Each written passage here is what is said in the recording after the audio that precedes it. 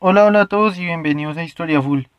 Bueno, en el video anterior hablamos acerca de la historia de Albania en la Edad Media, así que en el video de hoy vamos a hablar acerca de la historia de Montenegro.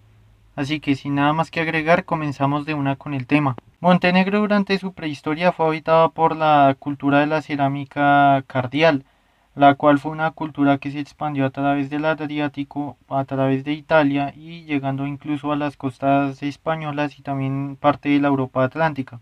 Sin embargo, eh, con el tiempo, eh, esta cultura fue mezclándose con otras culturas europeas neolíticas y durante la edad de los metales, cuando llegaron los pueblos indoeuropeos, la zona de Montenegro fue habitada por los pueblos ilirios. Los pueblos ilirios fueron un pueblo indoeuropeo procedente de los Balcanes. Con el tiempo ellos eh, se enfrentaron a la civilización romana, pero los romanos los derrotaron y los conquistaron y de esta manera la zona de Montenegro y bueno, la parte de los gran parte de los Balcanes eh, fue anexionada dentro del Imperio Romano. Debido a esto, pues Montenegro fue una región dominada por varios grupos étnicos. Cuando cayó el Imperio Romano, eh, la zona de Montenegro fue rápidamente anexionada por el emperador Justiniano al Imperio Bizantino. Sin embargo, tiempo después, Montenegro fue poblado eh, por los pueblos eslavos. Al menos hasta el siglo X se sabe que el país se llamaba Dioclea, de cuya historia no hay demasiada información. Se sabe que Montenegro perteneció en determinados momentos a Serbia, a Bulgaria, a Venecia y nuevamente al Imperio Bizantino. Sin embargo, los intentos de emancipación comenzaron en el siglo XI con el Principado de Zeta.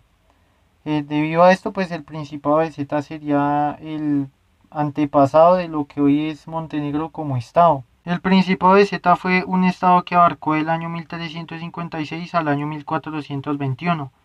En esa época este principado pues abarcaba casi toda la actual Montenegro junto al río Zeta, ya que de ahí ellos tomaron el nombre para su principado. En esos tiempos el principado de Zeta fue vasallo del reino de Serbia, el cual estaba bajo el mando del rey Estefan Nemanja. Sin embargo, tiempo después el Principado de Zeta se hizo independiente durante la desintegración gradual del Imperio Serbio después de la muerte de Stefan Uros IV Usan Manjic. A finales del siglo XV, el Principado de Zeta comenzó a ser conocido como Montenegro, término empleado por los venecianos que llamaban a la región como Montaña Negra.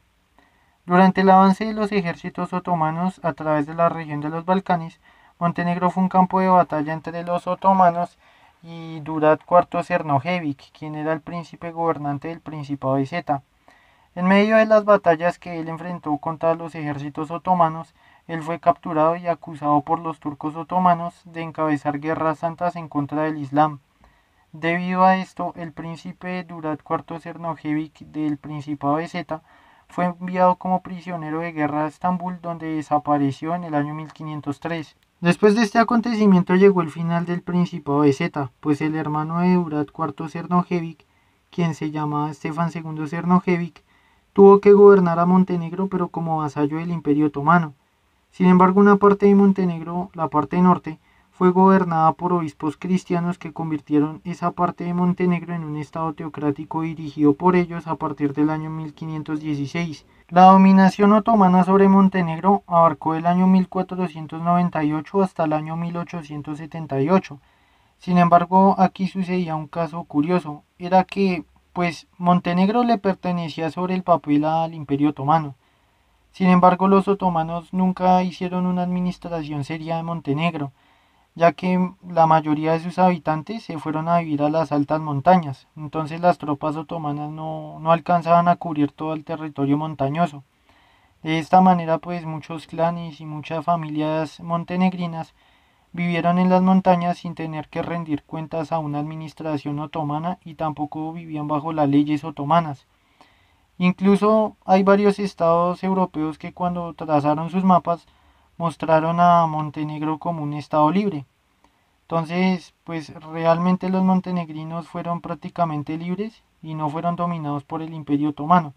Sin embargo, como repito, sobre el papel, sobre los mapas, Montenegro le pertenecía al imperio otomano. Mientras tanto, en el norte, el obispado teocrático de Montenegro fue un estado que abarcó entre los años 1516 y 1852 sin embargo, en el año 1851, después de la muerte del obispo y príncipe Pedro II de Montenegro, eh, el obispado teocrático empezó a entrar en dificultades, ya que él había participado en muchas campañas antiotomanas buscando la ayuda de los serbios.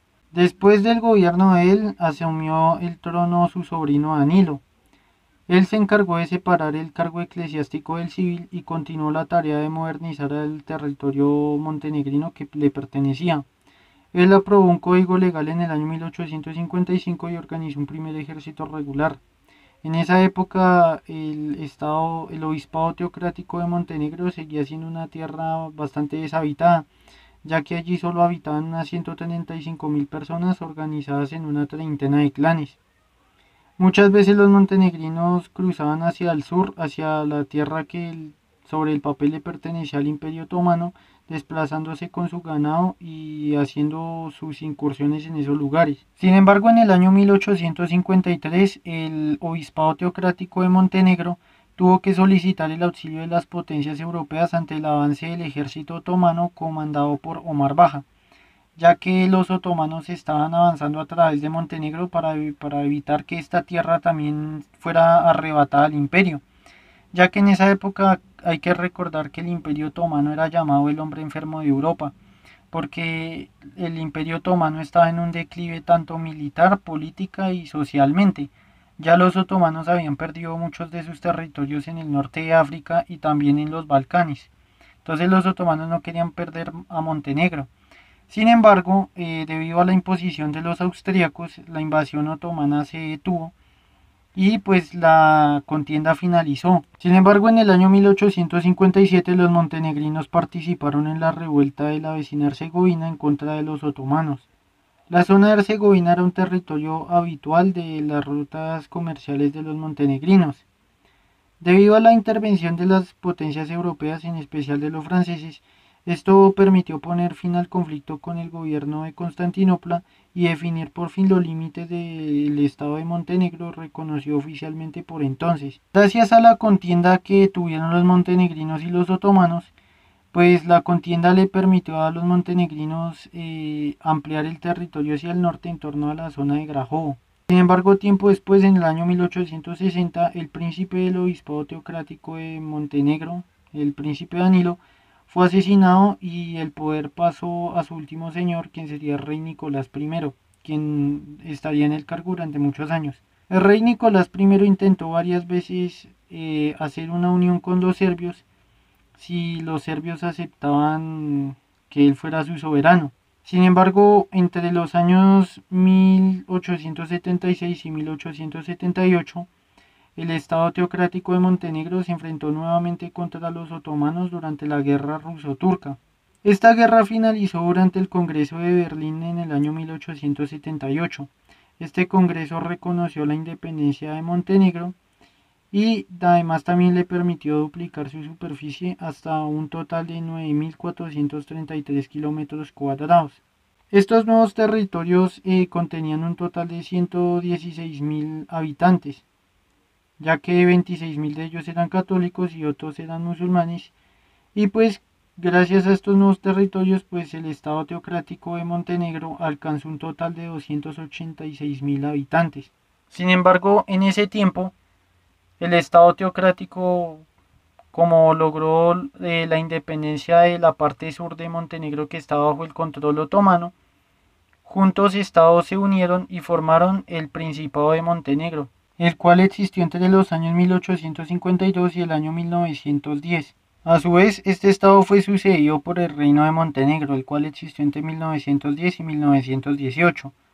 Luego fue sucedido por el Reino de Serbia, aunque solo duró un año porque hubieron eh, revueltas guerrilleras en, sus, en los territorios de Montenegro, personas que se negaban a ser parte de Serbia.